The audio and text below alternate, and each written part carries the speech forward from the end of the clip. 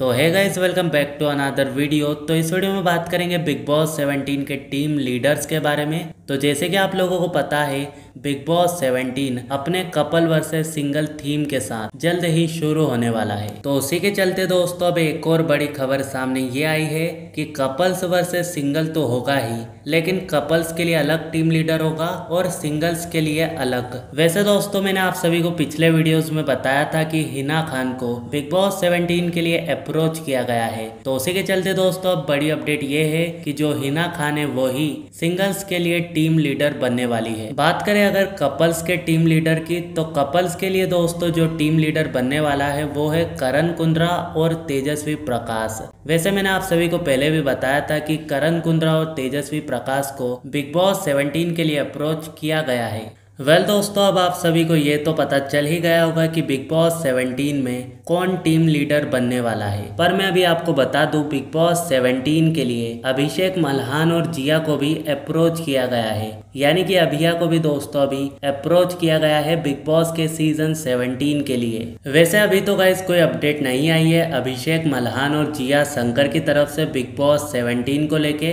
इसलिए हम लोग अभिया की बात अभी तो इस वीडियो में नहीं करेंगे। लेकिन हाँ जैसे ही कोई अपडेट आती है बिग बॉस 17 को लेके अभिषेक और जिया की तरफ़ से। तो मैं आपको सबसे पहले बताने की कोशिश करूँगा तो इसलिए आप लोग चैनल को सब्सक्राइब कर लेना और हो सके तो वीडियो को लाइक भी कर देना।